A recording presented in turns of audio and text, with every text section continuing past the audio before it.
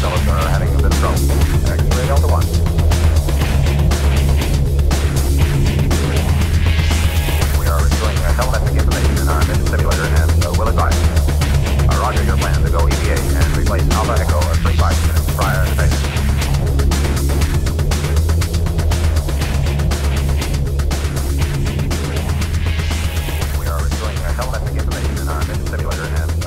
Thank you.